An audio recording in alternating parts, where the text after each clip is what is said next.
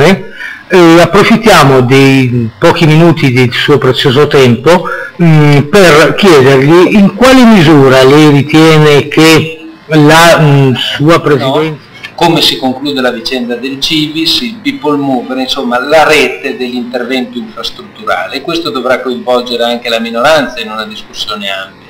Poi c'è la quotidiana amministrazione che significa il mantenimento dei servizi sociali che Bologna ha messo a disposizione dei suoi cittadini e non si può permettere di calare rispetto agli anni, agli anni precedenti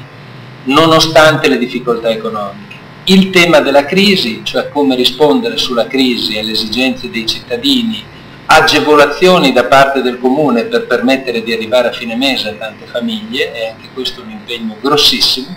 e poi atti simbolici che sono propedeutici a un rilancio del turismo. Concludendo, si parla tanto, è un argomento all'ordine del giorno, di sicurezza, si parla addirittura di ronde, chi è favorevole, chi è contrario, non è questa per me la sede per esprimere ovviamente le opinioni, ma ci terrei a sentire la sua. E poi mh, mm, è opinione di qualche cittadino, le faccio un esempio perché l'ho sentita